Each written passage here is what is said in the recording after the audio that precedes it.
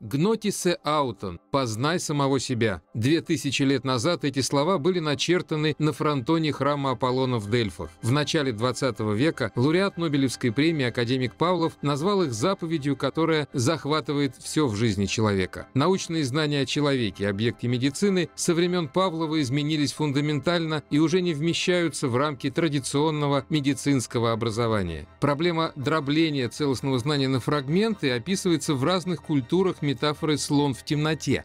Поднимется ли медицина на новый уровень, если ее ввести в контекст современных знаний о человеке, полученных антропологами, генетиками, нейробиологами и психологами. Природа человека сквозь призму наук о человеке в авторской программе «Медицина в контексте» с Мариной Аствацатурян на Первом медицинском канале. Малышев Алексей Юрьевич, доктор биологических наук, директор Института высшей нервной деятельности и нейрофизиологии Российской академии наук. Окончил медико-биологический факультет второго Московского медицинского института, ныне Российского национального исследовательского медицинского университета имени Пирогова по кафедре биофизика. Дипломную работу выполнял в лаборатории биоэнергетики НИИ фармакологии РАМН. В 1995 году Алексей Малышев поступил в аспирантуру Института высшей нервной деятельности и нейрофизиологии, где в 1998 защитил кандидатскую диссертацию под руководством академика РАН Павла Балабана. В 2008 1998 защитил докторскую диссертацию. С 1995 года по настоящее время Алексей Малышев работает в Институте высшей нервной деятельности и нейрофизиологии в лаборатории клеточной нейробиологии обучения. Алексей Малышев в студии медицины в контексте. Здравствуйте, Алексей Добрый Юрьевич. день. Тема нашего сегодняшнего выпуска еще несколько лет назад могла бы показаться названием главы из такой воображаемой книги «Занимательная биология».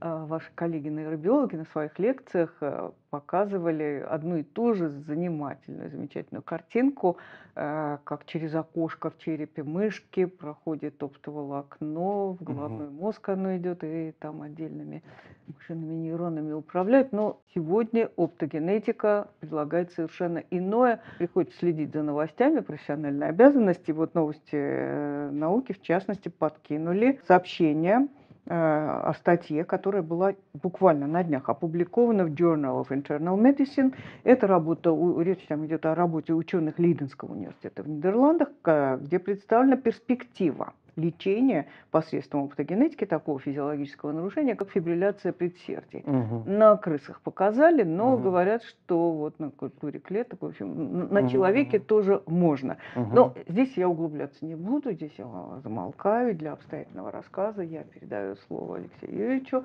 Э, Малышеву «Оптогенетика. Исследовательский инструмент нейробиологии и перспективы применения в медицине». Пожалуйста, вам. Угу. Спасибо, да. Ну, собственно, я не случайно несколько видоизменил вот тему э, как бы нашего разговора, потому что вы исходно хотели, чтобы это было больше перспективы применения в медицине.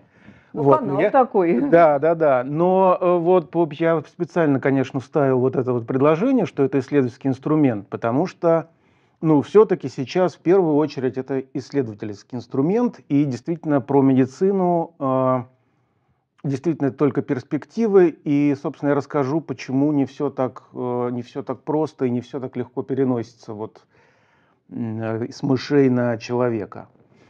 Вот. Ну, собственно, надо, наверное, начать с самого начала, как бы с истоков, откуда оптогенетика взялась, э, потому что Потому что сейчас вообще, то есть есть исходный термин, да, как она зародилась и как, что под ней подразумевалось.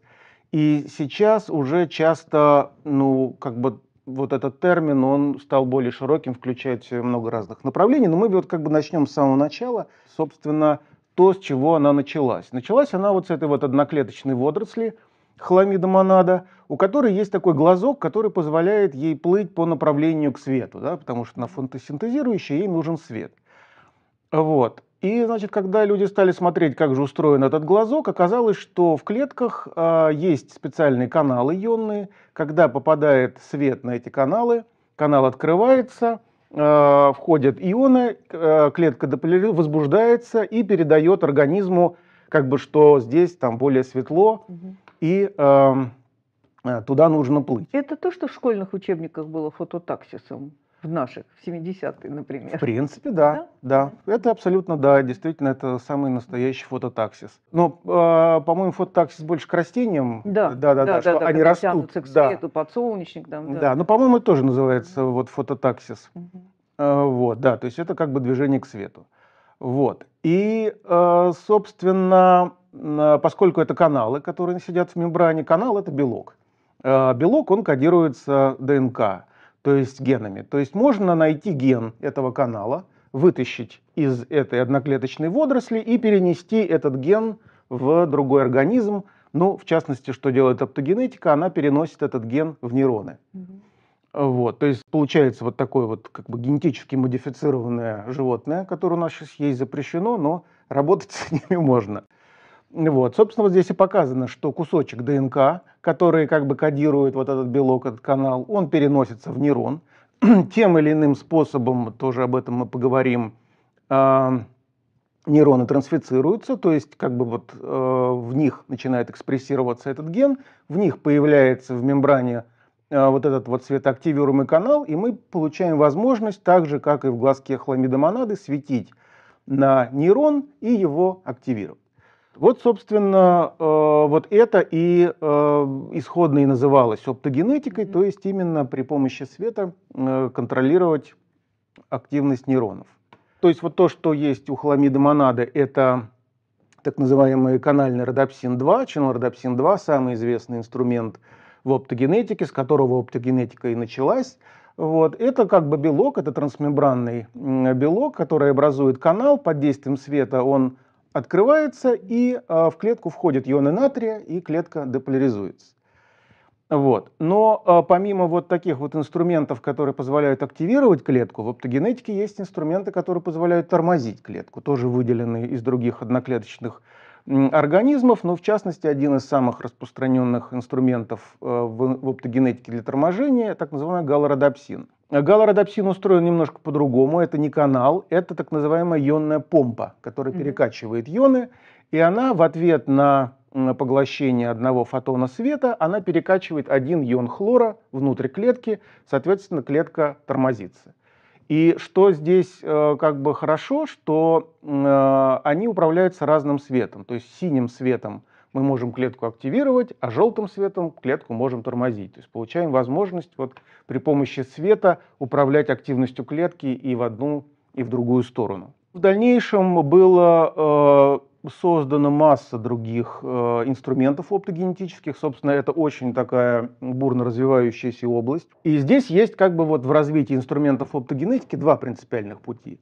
Первый путь – это искать разные одноклеточные организмы, которые, э, у каждой из которых несет, да, э, они в, об- об- в общем, общее название это микробные родопсины, Мгм, вот мгм. этих вот. И здесь есть как бы два, две принципиальных стратегии, как искать новые инструменты. Первое – это смотреть вот разные, разные микроорганизмы и смотреть, они какие родопсины они Мгм. кодируют. И это вот действительно постоянно э, происходит постоянно, вот, например, совсем недавно, да, проблема, вот, например, была в том долгое время, что вот активирующий инструмент канальный родопсин, он очень эффективен, потому что это канал. Как только канал открывается, через него сразу проникает масса ионов. Вот эта хлорная помпа, это действительно помпа. Она в, в ответ на поглощение одного фотона перекачивает всего один ион. То есть понятно, что эффективность Трудно заметить. а, Эффективность небольшая, а, и поэтому очень долго люди искали канал, а, который вот тоже, который бы светоактивируемый канал, который мо- мог бы вызывать торможение. Вот сравнительно недавно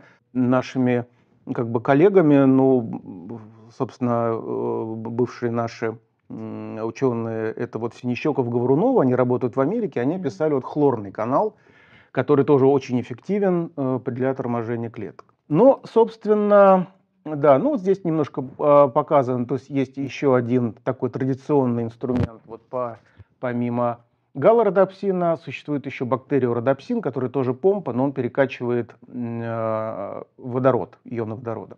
Собственно, вот зарождение оптогенетики связывают вот с этим человеком, это Карл Десирот, Мгм. которого, в общем, ну, считают отцом оптогенетики, потому что в 2005 году он опубликовал вот эту статью в Nature Neuroscience, в которой впервые показал, что с помощью света можно активировать э, нейроны, причем очень четко. То есть вот здесь каждая точка это источник света.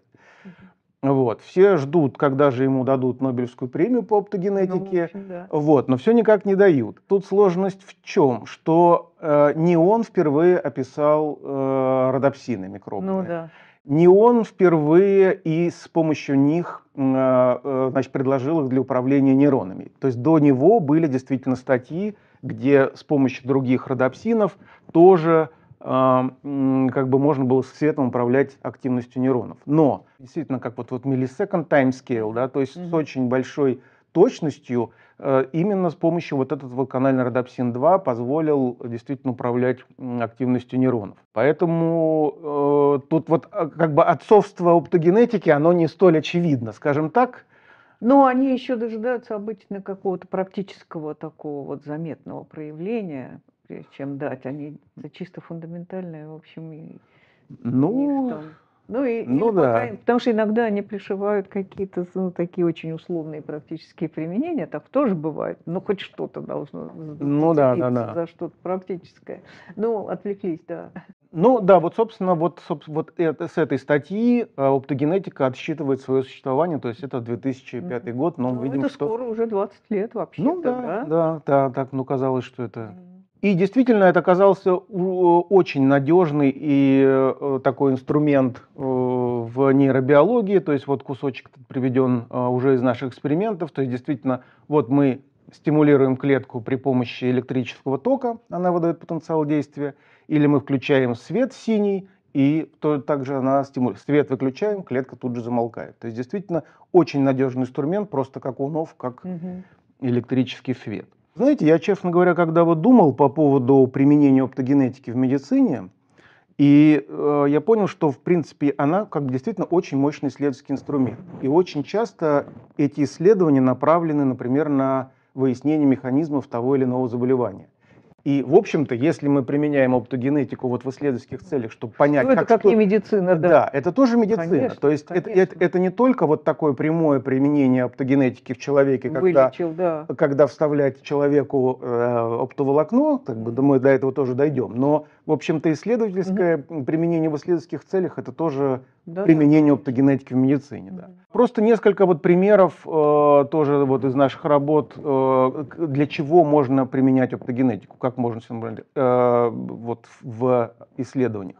Например, можно э, тестировать связи между нейронами. Да? То есть можно, вот, например, здесь показано два нейрона, находящиеся рядом. Один из них экспрессирует канальный родопсин, вот он светится, а сосед его не экспрессирует канальный родопсин.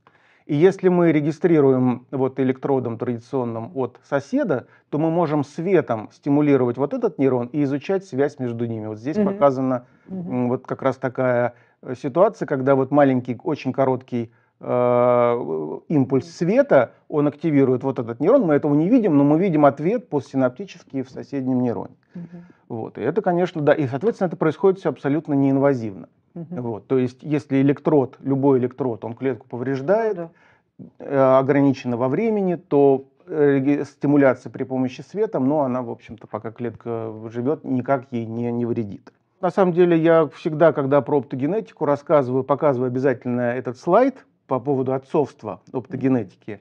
Э, это статья, опубликованная в журнале Nature в 1978 году из Советского Союза.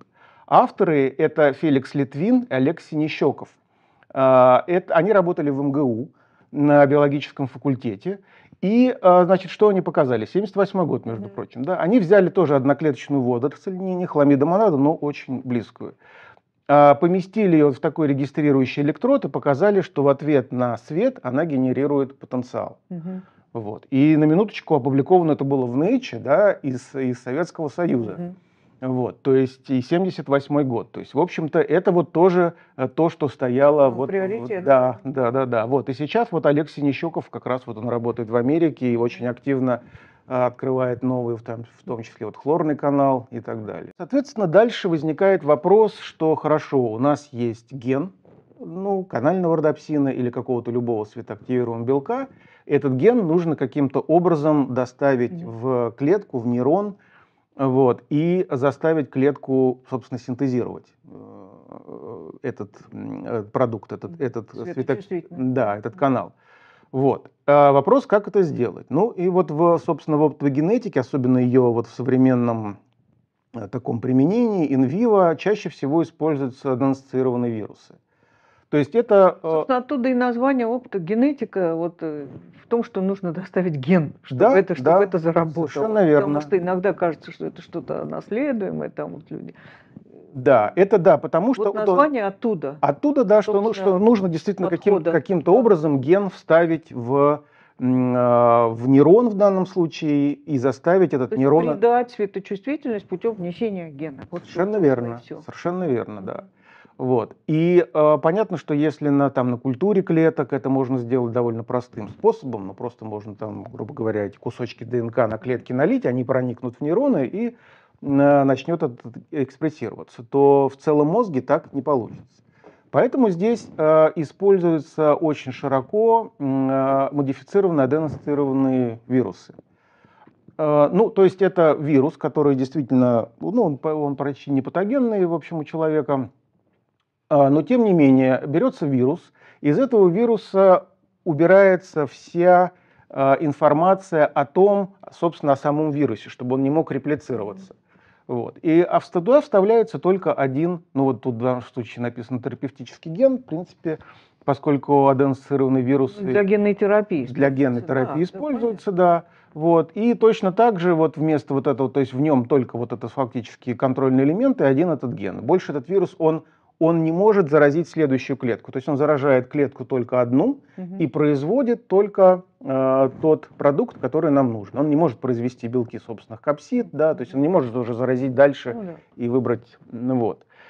И, э, собственно, вот... Э, да, ну вот, собственно, вот эта вот картинка, наверное, с которой мы начали разговор, ну, да, да, да, да, когда э, то есть у нас, да, да, то есть у нас есть две проблемы. Первая, как доставить наш ген в нейроны, и вторая, как доставить туда свет.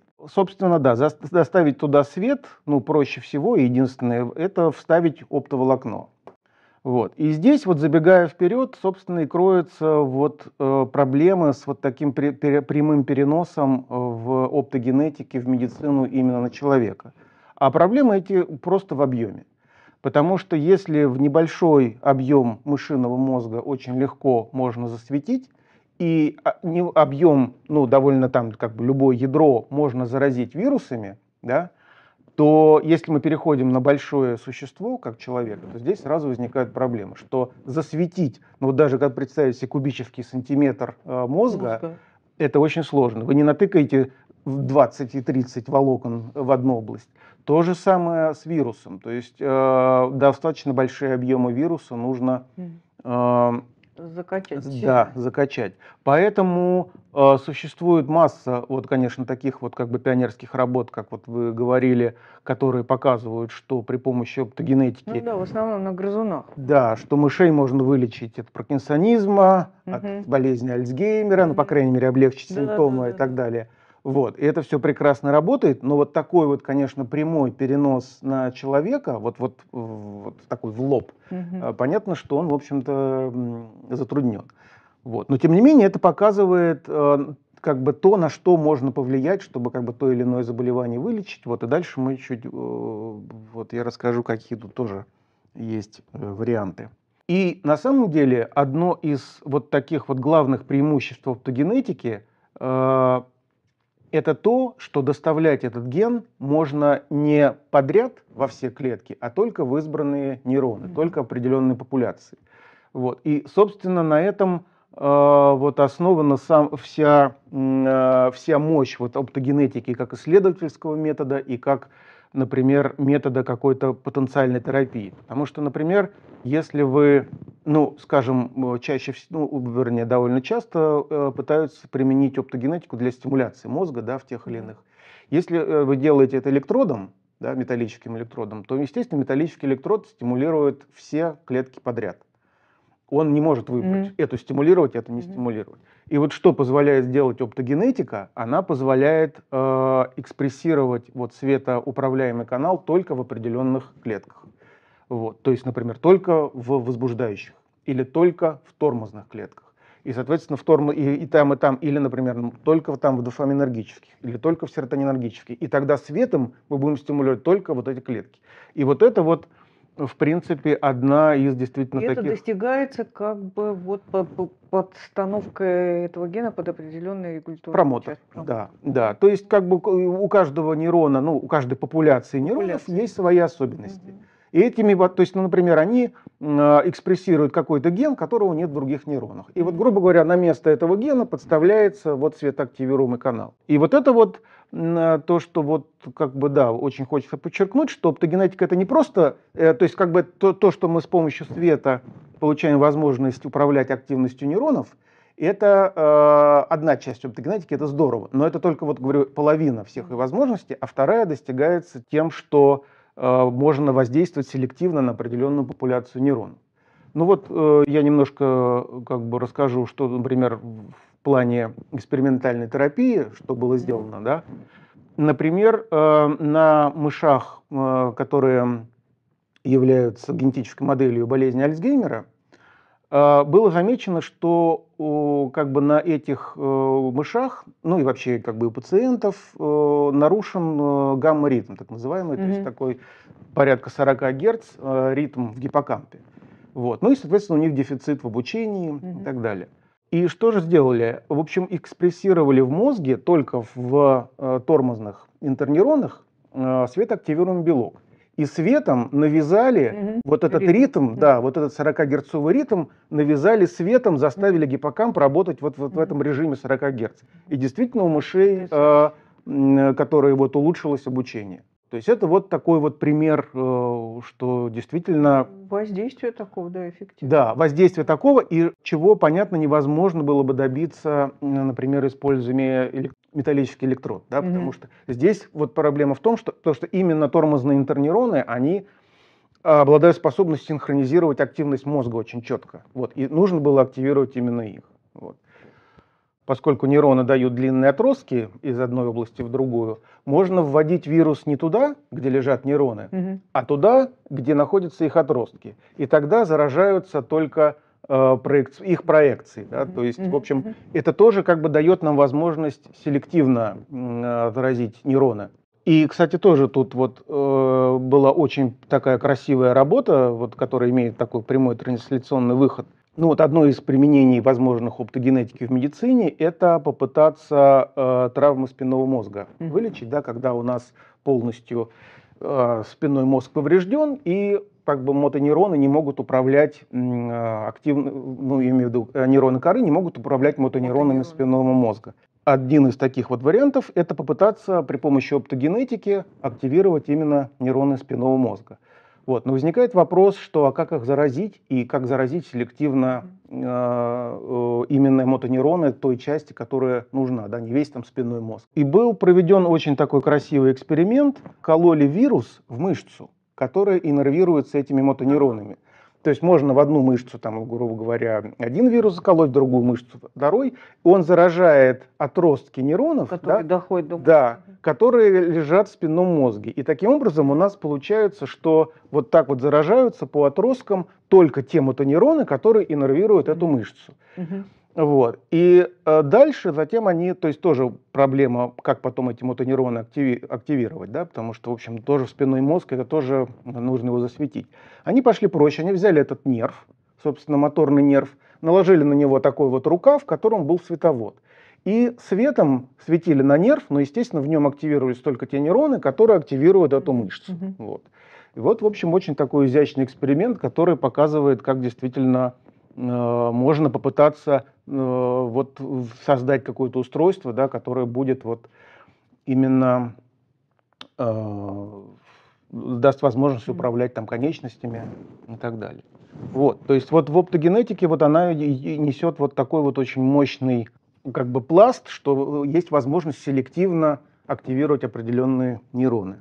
Ну и дальше я хотел рассказать вот про, собственно, ну фактически один эксперимент, который на самом деле э, вот показывает, э, э, собственно, всю силу этого метода. Немножко это не, может быть, отходит вот от медицины, но мы будем, поскольку Это так... один и тот же человек. Один и тот же человек, да, это, Что жизнь делает с людьми? Это удивительный человек э, Сусуму Танигава, э, потому что в 1987 году он получил Нобелевскую премию за то, что он раскрыл генетический механизм многообразия антител. То есть у нас вот иммунная система, mm-hmm. она э, обладает возможностью синтезировать ну, бесконечное количество mm-hmm. разных антител, а, в общем-то, геном-то он ограничен, mm-hmm. да, непонятно было до этого, откуда берется вот такое разнообразие. Вот. И он открыл, собственно, генетический механизм, который вот обеспечивает вот это вот разнообразие антител в иммунной системе. В 1987 году. Mm-hmm. Еще тогда он, по-моему, в Японии работал. И после этого он радикально изменил сферу своей деятельности и переключился в нейробиологию. Вот, сейчас переехал в Америку, вот, работает там, э, в Бостоне, по-моему. И здесь он тоже, в общем-то, ну, он как бы еще Нобелевскую премию вторую не, не, получил. не получил, но э, работа, конечно, совершенно потрясающая. И вот я хочу рассказать, ну, собственно, это такая центральная работа, на мой взгляд, вот она показывает вот максимально мощь вот метода оптогенетики, что э, позволяет делать. Что они сделали? Э, вот есть такой э, как бы метод обучения животных, который ужасно любят нейробиологи. Называется по-английски fear conditioning – Э, фир, то есть это страх. страх. Да? По-русски оно называется не очень интуитивно понятно, условно-рефлекторное замирание. Вот. Но в принципе это как бы классический павловский такой условный рефлекс, mm-hmm. когда животное сочетает два разных стимула. И стимул, который раньше был ну, нейтральным, да, mm-hmm. то есть если его сочетать с каким-то негативным воздействием, то этот стимул приобретает какое-то значение негативное.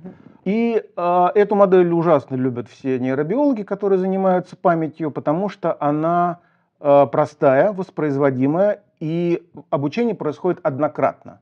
То есть однократное mm-hmm. обучение. Если обычно нужно, как, как говорится, повторение мать учения, то здесь обучение однократное.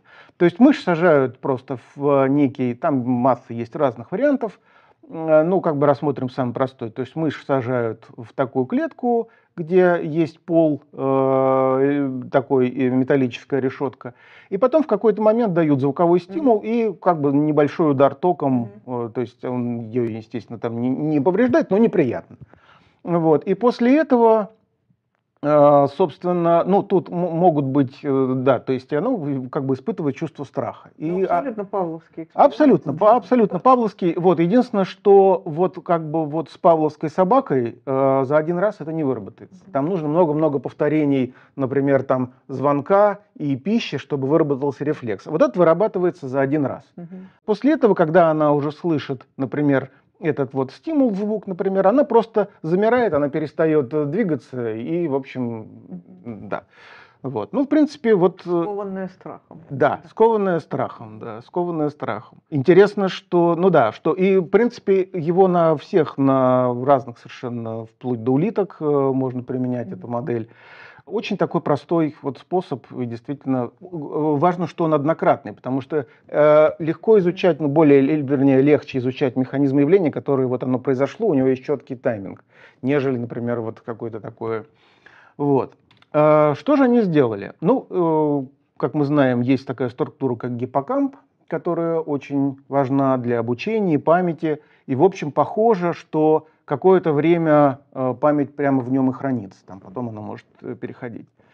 И э, вот вообще в оптогенетике, ну и вот в такой в экспериментальной, в молекулярной генетике есть такой очень э, э, полезный механизм, что ген можно экспрессировать не только в нейронах какой-то определенной популяции, но можно сделать так, что этот ген будет экспрессироваться только в тех нейронах, которые активируются в данный конкретный момент. Ну, я в детали, естественно, вдаваться не буду. Выглядит это так, что когда мы убираем там определенную химию из э, рациона животного, открывается окно для того, чтобы в нейронах, то есть вирусом они заражаются все, но там как бы этот ген спящий, он не активируется. И он активируется только тогда, когда сами нейроны активируются. Угу. Собственно, вот гиппокамп э, этих мышей э, были заражены вот таким вот э, сложным вирусом, который, соответственно, в них всех проник, но сидит там сидит молча. Да.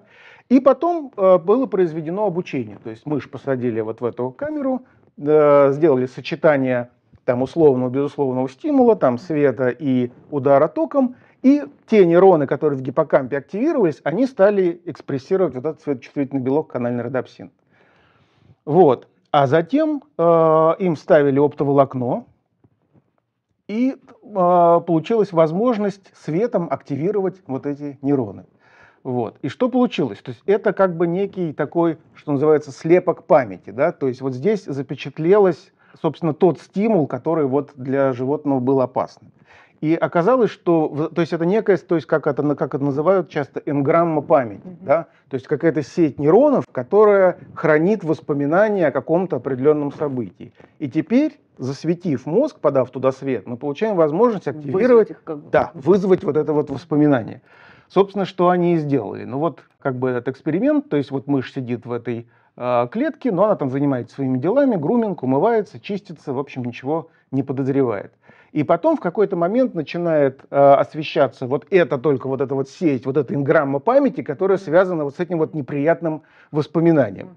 Вот. Ну, то есть она, естественно, никакой боли при этом не чувствует. Это просто там, может быть, это выглядит так страшно. Вот. И, а, и она, в общем-то, замирает, она перестает, потому что вот она, то есть, то есть получилось, что при помощи оптогенетики можно вызвать, ну, грубо говоря, конкретное воспоминание. Вот. И, в общем, по-моему, это действительно такое впечатляющая работа. Вот, то есть не только определенная популяция, но и, но, но и, но, но и, так скажем так, это можно сказать функциональная популяция, да, сеть нейронов, которая связана вот с определенным событием или вот с чем-то таким. Вот. Ну, и, наверное, я пролесну несколько. Да, помимо, ну, да, то есть к тому, к тому что на, вот, на, скажем, если пытаться делать на человеке, то здесь э, ну, применять оптогенетику, то здесь кроме вирусов, ну, наверное, мало что можно придумать, а у животных существует масса других способов, гораздо более простых.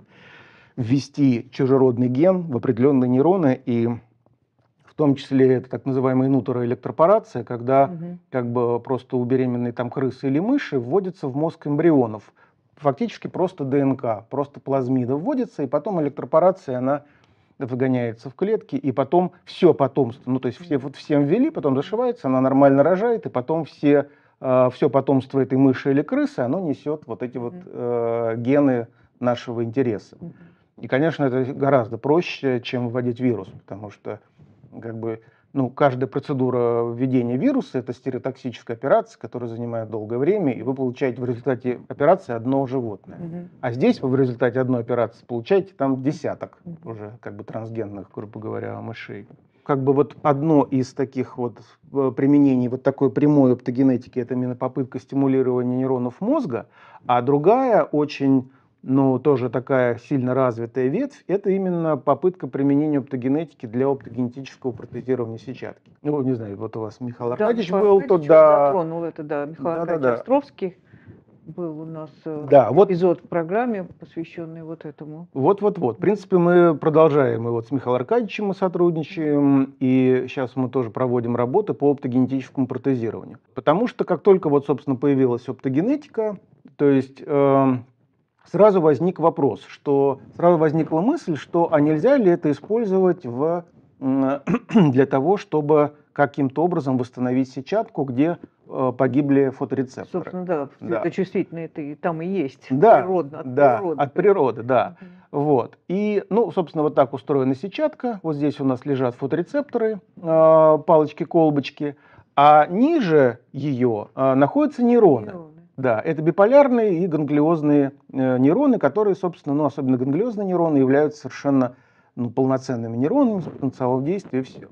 И э, существует ряд заболеваний, ну вот пигментный ретинит, когда погибают фоторецепторы, но нижележащие нейроны остаются живы. Да. Вот. И здесь, как только вот, собственно, оптогенетика возникла, сразу возникла идея, а что если вот эти нейроны наделить светочувствительностью? И таким образом вот восстановить э, вот каким-то образом зрение. Ну и понятно, вот глядя из этой, из этой картинки, что можно наделять светочувствительностью биполярные клетки, а можно наделять светочувствительностью ганглиозные клетки. Вот. Ну и, и да, и довольно просто это все э, делается, довольно просто заразить их вирусом, то есть вот внутриглазная э, инъекция, просто в стекловидное тело вируса – Э, прекрасно заражает, тем более, что у нас же сетчатка перевернутая, то есть если мы вводим вирус, то он проникает вот отсюда. Да. И первым делом он как раз заражает э, ганглиозные клетки. То есть технически это оказалось очень просто, да. Ну вот картинка из нашей лаборатории, это сетчатка мыши, э, в которой вот заражены как раз ганглиозные нейроны э, светочувствительным белком. А надо сказать, что сам по себе этот вот светочувствительный белок, его не видно.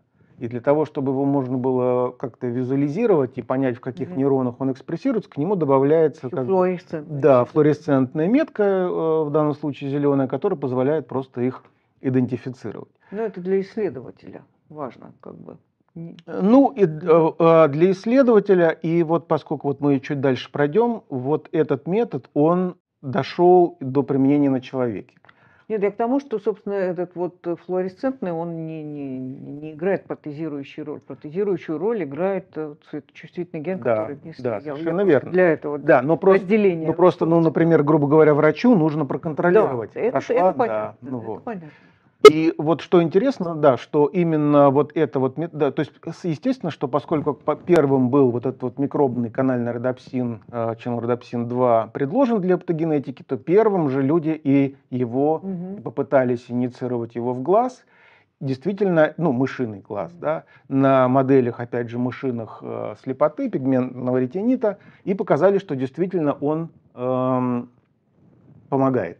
Но проблема здесь какая? Что э, вот эти вот микробные апсины, к сожалению, они очень э, слабо светочувствительны. То есть М. интенсивность света, чтобы их активировать, нужна очень большая.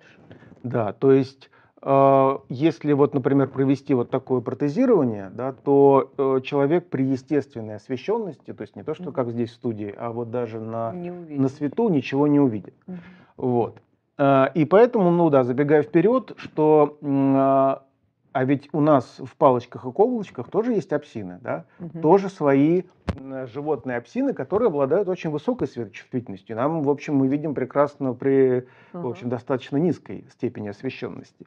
И, естественно, после того, как э, э, вот попытались применить именно микробные апсины, стал вопрос, а давайте попробуем Свой. свой, Ага. да, апсин, э, тоже его экспрессируем в э, вот этих вот оставшихся элементах сетчатки, биполярных клетках, ганглиозных клетках, и таким образом получим восстановление тоже зрения. А тут есть э, проблемы немножко другого плана. Во-первых, вот эти вот наши животные апсины, они достаточно медленные по сравнению с по сравнению с бактериальными, да. Вот. И второе, они требуют постоянного притока ретиналя. То есть они немножко по-другому устроены. Вот ретиналь, вот, который, вот, собственно, да, предшественник вита- витамина в Мгм, морковке, а наши апсины, которые э, у нас с вами, они устроены как? Этот ретиналь, он связан с апсином, когда по- поглощает свет, ретиналь отваливается. Мгм, мгм. Отвалив- И и, он, и он, да, но он не просто возвращается, он э, переходит в другую форму, Мгм. и чтобы его опять вот эту активную форму э, восстановить, нужна целая машинерия, Мгм. которая вот есть в э, пигментном эпителии сетчатки. Вот, это во-первых. И здесь, естественно, что вот она вся сидит, и постоянно в фоторецепторах происходит, производит восстановление ретиналя. А в микробных апсинах ретиналь связан э, жестко с апсином, и он, он там просто происходит его изменение конформации, но он не отваливается. И, ему- То, и что ушло, ушло уже, да? не, оно не уходит, он, он остается. Не, ушло, в смысле, дело пошло, да, и все. и все, да. И всё. ему не нужен постоянное вот Да. это вот производство вот этого ретиналя. Потому все им подпитывать. Да, А да. как? А, вот, да. И еще, да, по- потому что, как бы, ну, в итоге оказалось, что э, когда... То есть в итоге оказалось, что хватает... То есть изна- изначально думали, что, наверное, не будет хватать вот этого ретиналя, если, его, если апсин, если после гибели фоторецепторов попытаться их экспрессировать вот здесь ниже. Но потом оказалось, что когда погибли фоторецепторы, а проз- поз- продолжает его восстанавливать и производить, то, в общем, некому его использовать, его, его хватает. Мгм. Да. Но тем не менее, вот как, э, несмотря на то, что действительно вот эти вот микробные апсины э, обладают очень низкой светочувствительностью, пока до человека доехало э, только как раз на удивление использование микробного апсина. Мгм. Вот сейчас это. Ну, доехала. Но доехало, да. Но, правда, до одного. Надо. Да, то есть я даже не знаю, но э, как это формально называется, то есть это даже не клиническое испытание. а Ограниченное клиническое. Такое. Ограниченное, да. То есть в, в, ну, там какие-то отдельные протоколы специальные, да, вот какой-то. Ну вот я не знаю, это поскольку во Франции было сделано, как это юридически оформляется, непонятно, но вот... Какие-то комиссии разовые, однократные какие-то собираются, э, по-моему, да. Вот, да, то есть юридически это, конечно, все, наверное, очень сложно, да. но вот, э, да, тем не менее. Собственно, почему это возможно? Потому что, ну, у нас сетчатка, она ну, в каком в таком первом приближении, это такая матрица, да, как, как, как матрица телефона. Угу.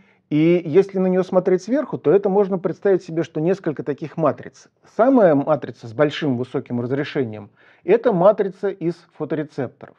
А потом как бы несколько фоторецепторов конвергируют на биполярные клетки. Mm-hmm. И ниже уже лежит матрица более грубая. Да? Mm-hmm. А потом биполярные клетки конвергируют на ганглиозные клетки.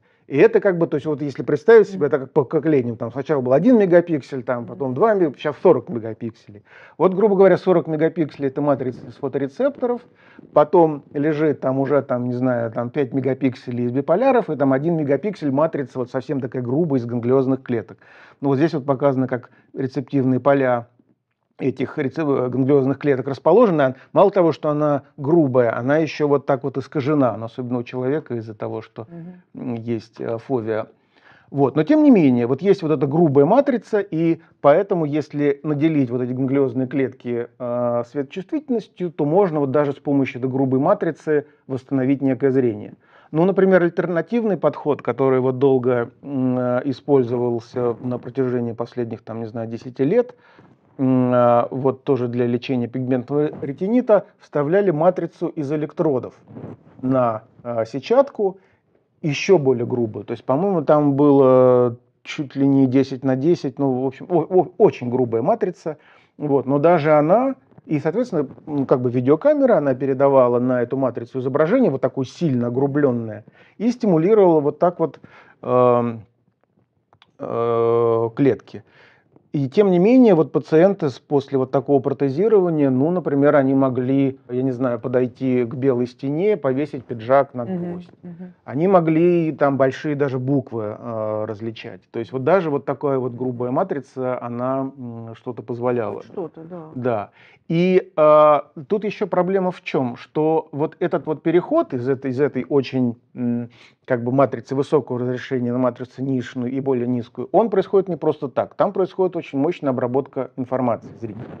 И мозг уже получает у нас от сетчатки информацию в таком достаточно обработанном виде.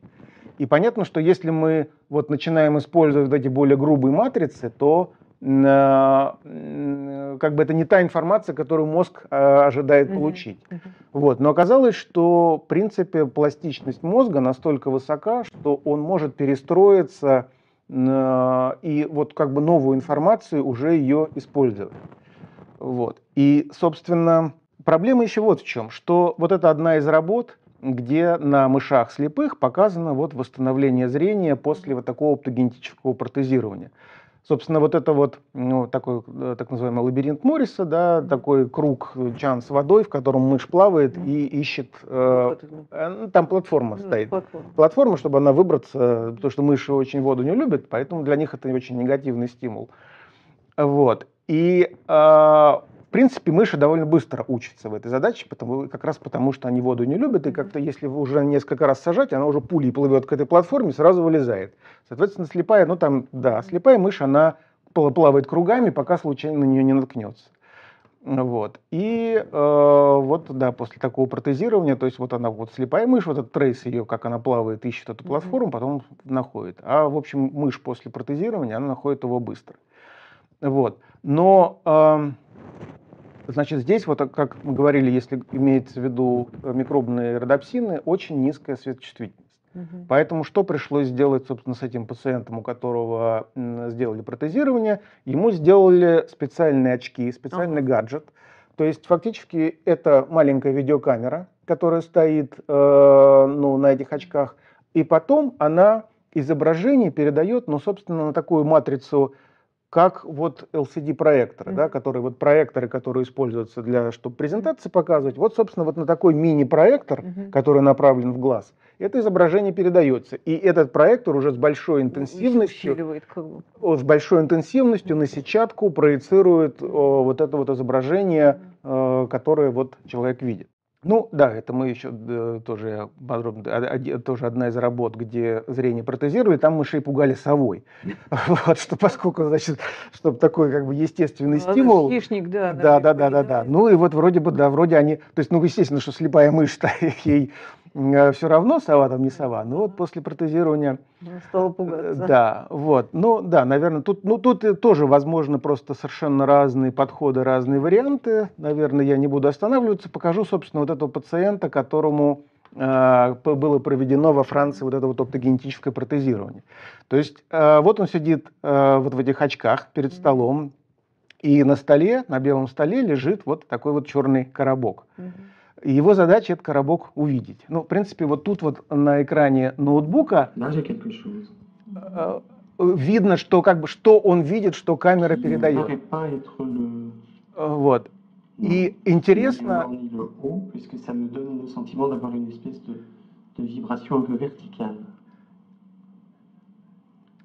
интересно, что он говорит, что я чувствую, что я чувствую какую-то вибрацию. То есть вот это вот, да, то есть вот это вот как бы информация вот после этого протезирования, она не совсем зрительная. Вот. Мгм, То есть, в принципе, вот э, действительно происходит какое-то, вот какая-то, трans- то есть мозг как-то Ну, по-другому. переучивается уже в- Да, трансформировать. да, как бы, как-то переучивается. Вот. Ну и, конечно, к сожалению, вот степень восстановления зрения, ну, речь не, не о том, не идет, Ну, что взял книжку, пошел ее читать, Читать, да? да.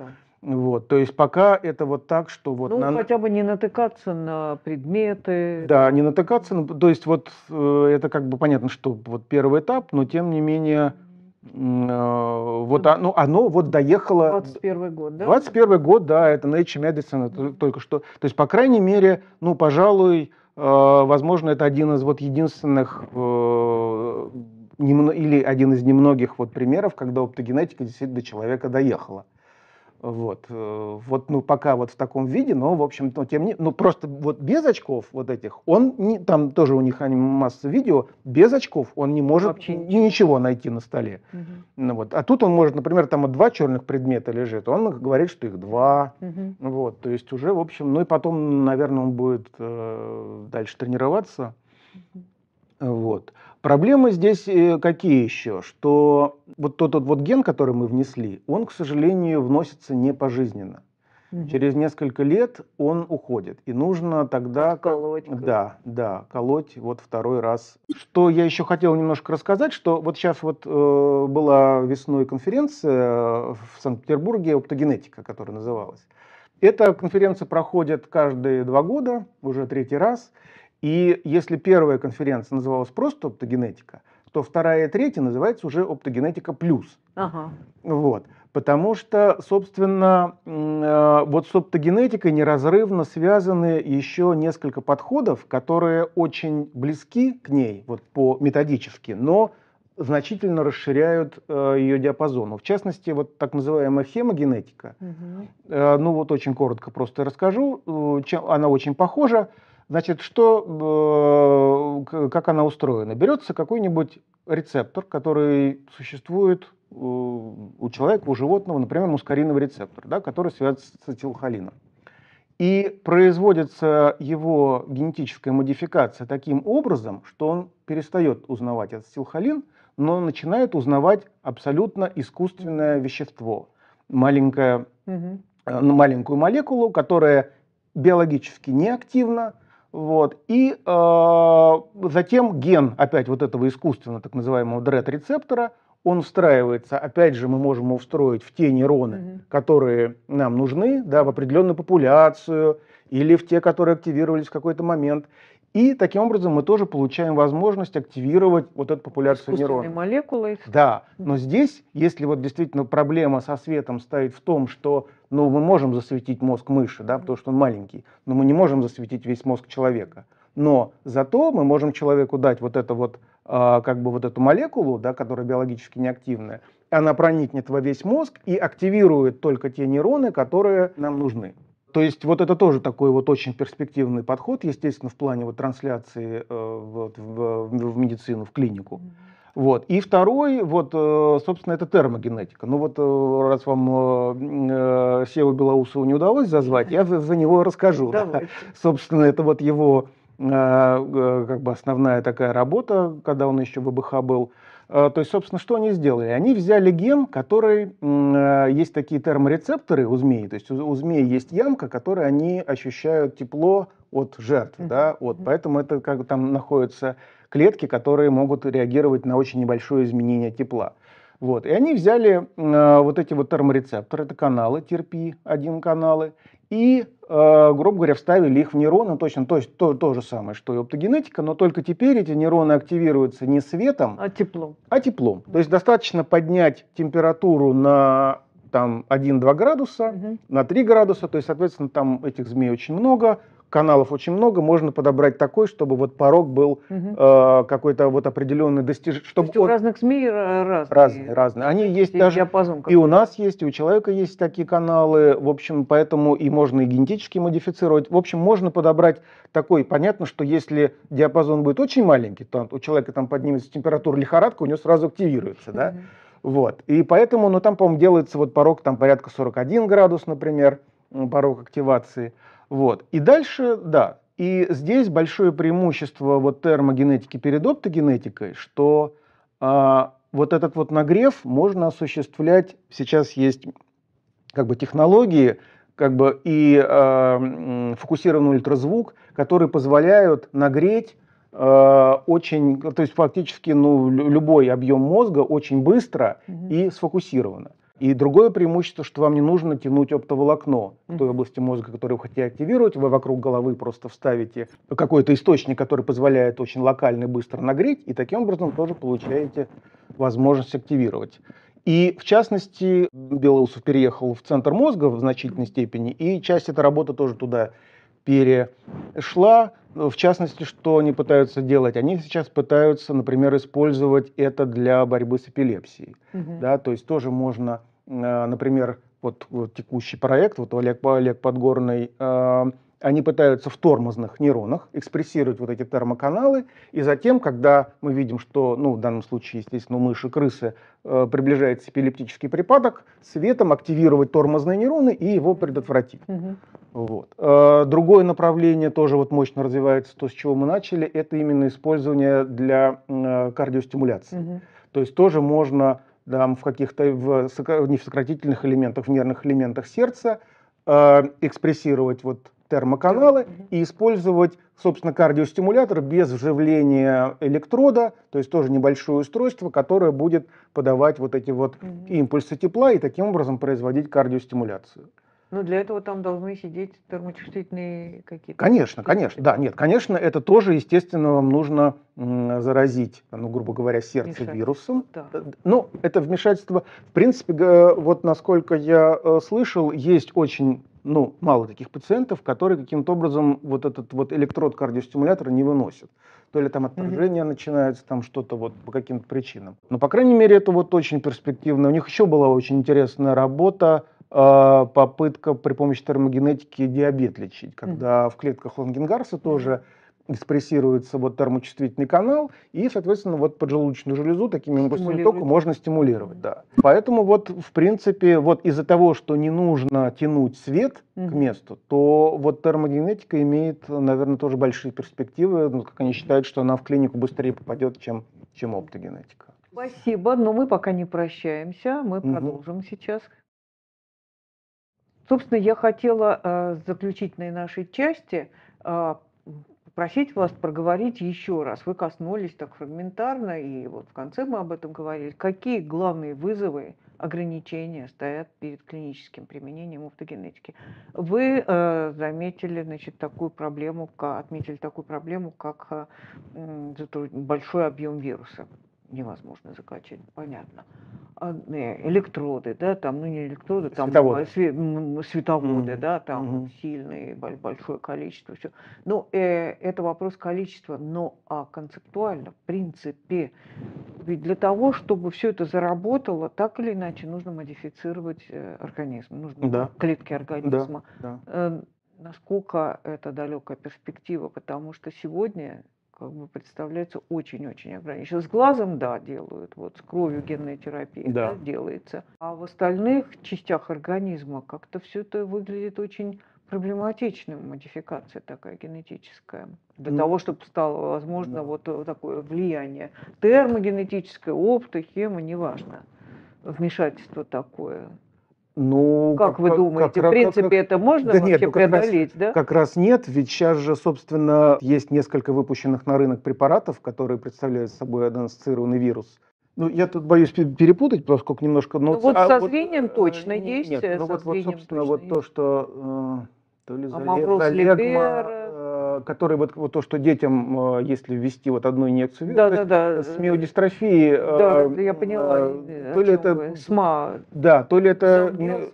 Да, забыл. да, то есть общем, мы понимаем об одном и том же. об одном говорим. и том же, да. То есть существует действительно сейчас препарат, который вот там одна инъекция, сколько то миллион долларов стоит, но тем Ну не да. менее это, это аданоцированный вирус, который несет, в общем-то, тот, тот, тот ген, который у пациента поломан. И если ребенку вот ввести там Ну в да. определенное время, В вот, то- определенный момент. в определенный момент, то, то можно очень сильно как бы вот, ну, облегчить его жизнь и так далее. Вот, поэтому, в общем-то, она идет То семимильными есть модификация генетическая не, не такое уже препятствие, А, было еще несколько лет назад представлялось. А, Понимаете, в чем дело? Здесь не происходит, то есть вот аденоцированный вирус, он не встраивается в геном. Мгм. Вот. И он остается действительно, э, как бы вот этот вот... В пределах одного организма. Э, э, не- нет, именно не встраивается, то есть это, это, это ДНК, этот кусочек чужеродного гена, э, он остается в клетке отдельно, не встраиваясь ее в геном. Мгм. Аденоцированный вирус чем плох? Он очень маленький. В него не влез, в него Большие гены трудно Бани- вставить. Да. Существуют другие вирусы, так называемые лентивирусы. И э, вот в него, во-первых, э, э, значит, э, можно вставить достаточно большой ген, и во-вторых, вот лентивирус как раз встраивается в геном. Мгм. И там преимущество, что, говорю, вот аданоцированный вирус, к сожалению, через несколько лет а, вот эта вот генная вставка, она уходит, то вот лентивирус, он уже встраивается в геном, и он уже, в общем-то, пожизненно, да. И естественно, что вот как только это все начиналось, не помню какие годы, вот люди обратили внимание на лентивирусы в Мгм. первую очередь, но потом оказалось, что из-за того, что вот этот вот э, вставка встраивается в геном и встраивается куда угодно, вот куда встраивается, очень часто это вызывало онкологию. Мгм. Вот. И поэтому все исследования вот фактически с лентивирусом, они были прекращены. Вот аденсцированный вирус, он это- таких вещей не вызывает, потому Да. что уже есть несколько препаратов, да. которые полностью...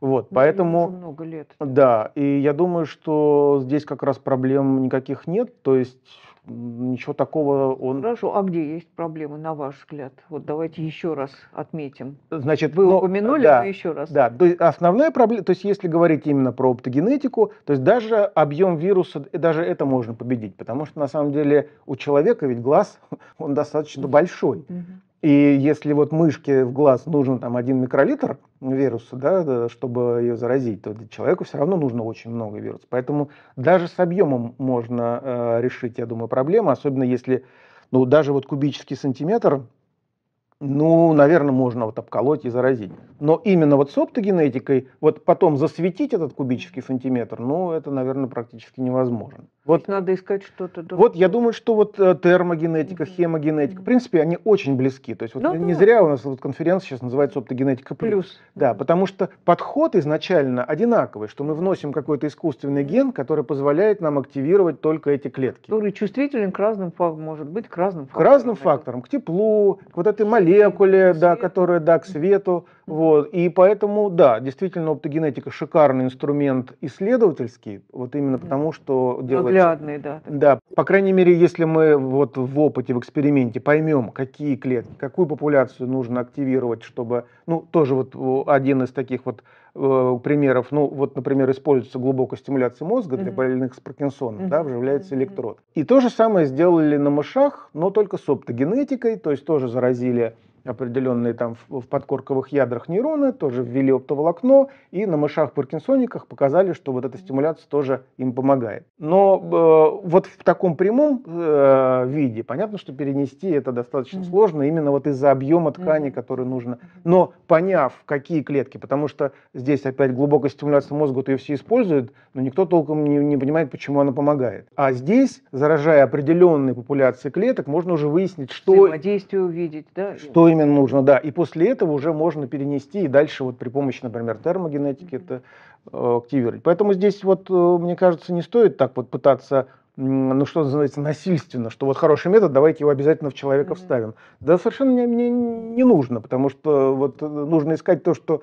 грубо говоря, хорошо работает вот на большом мозге, и это использовать. Спасибо большое, Алексей Юрьевич. Да, спасибо, вам. что позвали. Спасибо, до свидания. Спасибо.